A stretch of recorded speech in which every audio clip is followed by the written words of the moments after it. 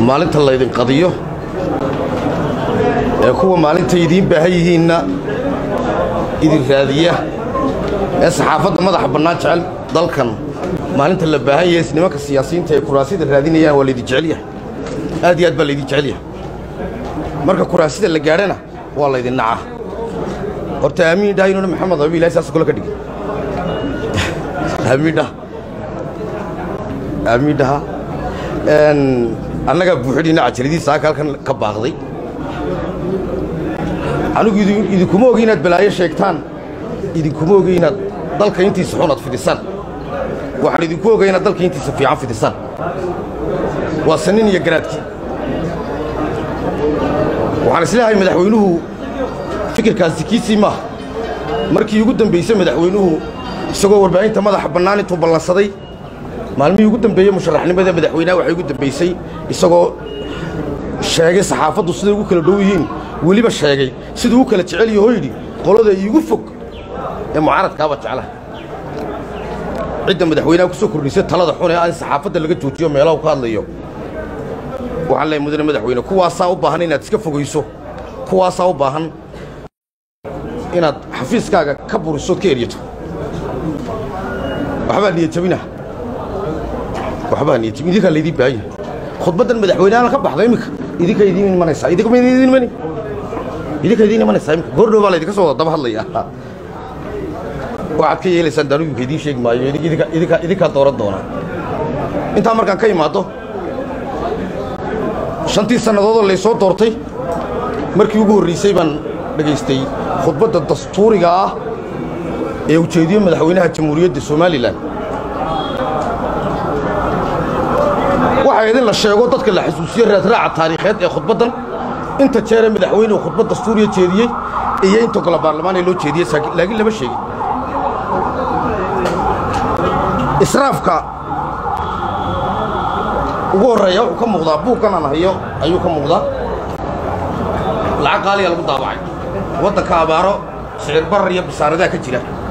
Waxay ugu filnaa in aniga lai dhiibo saddex warqadoodoo ee foora oo isku xidhan oo cadcadii lai dhiibaa ku filnaad waayo dee iminka markaan qaadada waa khasaara weeye dee waayo kitaab qur'aan oo shalfiska la gelinaya maaha? In saa loo qurxiyo lacag badan bay qaadatay wax bilaash ku baxayna maaha.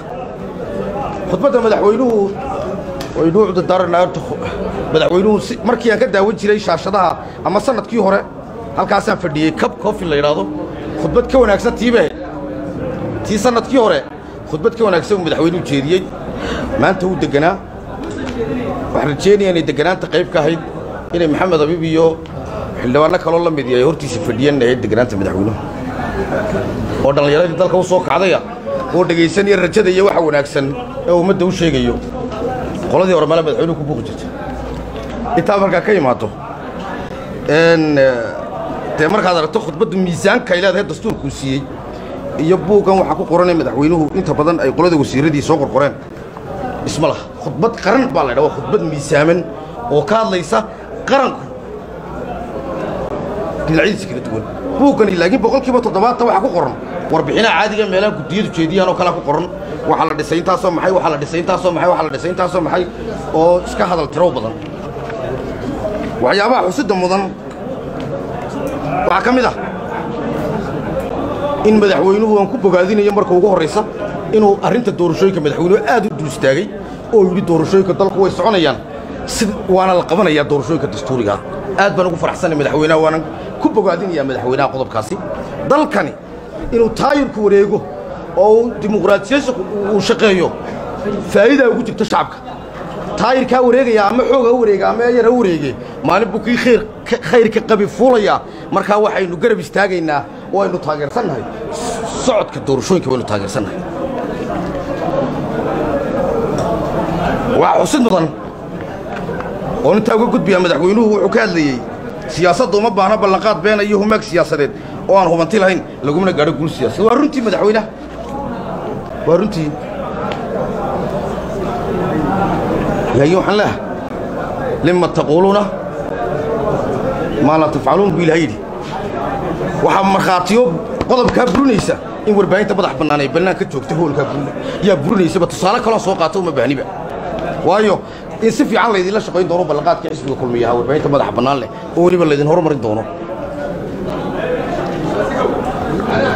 Waxaa xusud u baahan iyaduna inaanay loobin u baahan. In qaar ka mida warbaahinta kuwiidii ku waaweynaa ay maanta xabsiga dhexe hargeysa ku jiraan. Taana aad baan uga xumahay inay sannadkii hore duubayeen baan rajaynayo halka taagnaayeen.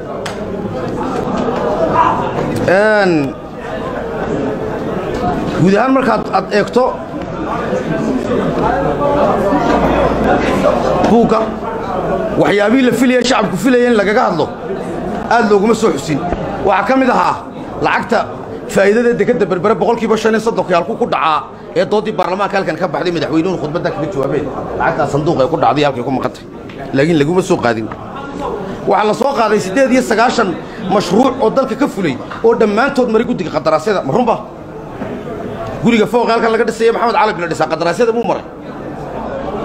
Halkan baakika u dhisaya ee diyaaradda la saaray lacag baa gashay qadaraasyada may martay. Waddada weyne uu ka soo bilaabay maxaa la idhahdaa agaasimaha madaxtooyadu buurta kala jeexan ee madaxtooyada ku soo dhammaatay halkan golaha hortiisu. Guddiga qadaraasyada may martay. May marin. May marin. May marin. Waxaa xusid mudan oo dul istaagayaa arrinta abaaraha. Weli dalku abaaru ku jira xoolo way dhimanayaa weli. Meelaha qaar oo xoolaha muhiim u ahaydna roob badani kama diin. Waxaa weeye abaaraha boqolkiiba labiiyo toddobaatan lacagta dalkaa bixiya baa layidhi lacagta guddiga waaheen ku saabsanayd arrinta waaheen ku saabsanayd madaxweynuhu lacagta u sheegay ganacsatadu sheegay si fiican buu halkaa u sheegay. Laakiin lacagta abaaraha dhowr jeer baan halkan kaga hadalno golaana kaga hadalnay. Wixii muhmalkaa unbay madaxweynahan u soo gudbiyeenoo lacagtaa abaaraha ku baxday iyo qoysaskay gaadhay iyo intay ka fargaraysay iyo intay ka go'day warbixinta madaxweynaha kuma xusnayn halkaasina waxaad nusqaan kale oo guddiga abaaraha un ka muuqatay dee warbixinteedii. Waxyaabaha qosol kale ku jira waxaa ka mid ahaa maxaa la yidhahda khudbadda madaxweynaha waxaa ka mid ah boqol iyo konton boqol iyo konton kun oo buug baa oo dastuurkaabaa la qaybiyaa la yidhi buugta dastuurku waa free waxa laga qaataa maxaa la yidhahdaa meeshan halka garyaqaanka guud baa laga qaataa dastuurka ayaa laga qaataa halkan baa laga qaataa waxay ku jirtaa somalilan low dotcom websayteka la yidhahdo ninka muwaadinka ee reer somalilan sharafta li uu dadka reer somalilan ugu kaydiyo. Shuruucda ka soo baxda dalkao dhan. Buug baa la qaybiyey ma waxqabad baa dastuurku waa sharciga ugu weyn ee uu dalkani leeyahay. In la qaybiyo waxaa ka wanaagsan inay madaxdu isku wacdido oo lagu dhaqmo dalkiiyo dadka lagu dhaqo. Waxaan kaga baxayaan ku soo gebagabaynayaa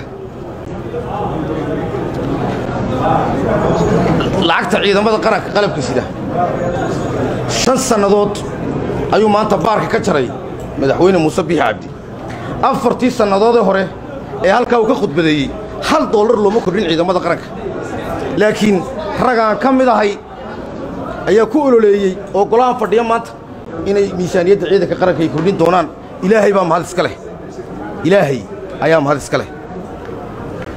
Waa kordhinno golahana kordhiyey in dareenkaygii baa lagu soo kordhiyey tobanti beersan tan beersadna waa nagii halka kaga darnay. Ilaahay baa mahad iska leh. Madaxweynaha markaannu aannu dhalliilayno faa'iidooyinka caynkaasee faanka ugu filan ragga u soo kordhiya baana annagu intay qaar ku leeyihiin madaxweyne lacagta ciidanka ma kordhin karaysid. Annaguna waxaan lahay waad kordhin kartaa madaxweyne. Miisaaniyaddeenna way ka go'aysaa baanu lahay kuwa waxa fiican u sheegaan ma nihin kuwa wax xun u sheega ma nihin si xun waxu sheeg ma nihin kuwo guulaha waayo tallaabo kastoo wanaagsan uu qaado madaxweynaha qaranku. Guul bay u tahay qaranka. Tallaabadoo maanta ku faanayo tallaabada ugu mudan bay ahayd ee halkaa ka dhacday. Annagaa iskale golahana iska leh hordhigga iyo xasuusinta madaxweynahana annagaa lahayd boqol iyo halka degmo ee miisaaniyadda la yidhi waxaa la gaadhsiiyey kabkaa la gaadhsiiye la yidhi. Xukuumaddu dee ma jaagoyso xeer baa siiyey degmooyinka dee lacagtaas. Xeer baa siiyey. Golahan ka soo baxo sharci baa siiya. Boqol iyo halka degmo ee dalkani leeyahay wuxuu wuxuu madaxweyne u hayo ama golo baarlamaan u hayo maayne sharci soo baxay baa siiye taana. Oo wax lagu ololayn karo lagu kaambeyn garay karo ma noqon doonto taasina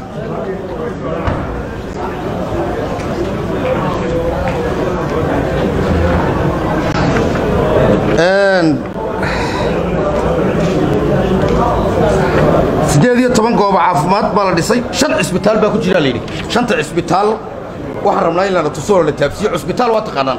Waa inuu la mid noqdo cusbitaal marka la leeyahay.